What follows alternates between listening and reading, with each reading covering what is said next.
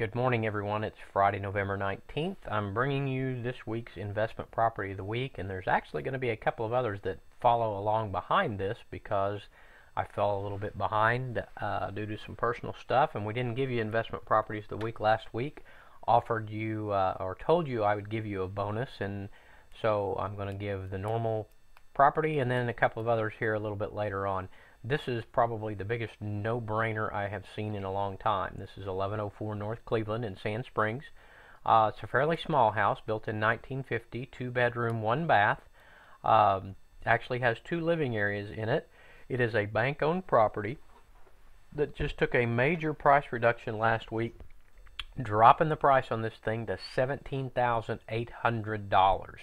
Um, I don't know of anything in the marketplace that would rent for less than three to three hundred and fifty dollars a month.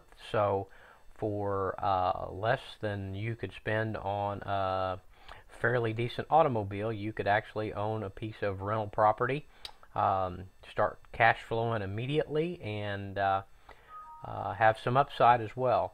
I quite frankly am kind of stunned that this one has not sold up to this point, but uh, if you are looking to become a landlord, this is a perfect opportunity to get in with very little risk.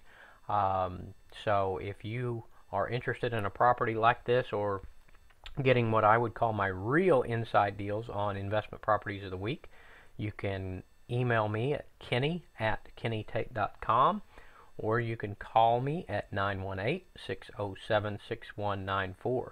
You can follow me on Twitter and subscribe on YouTube at Realtor Tate or follow our blog at www.realtortate.com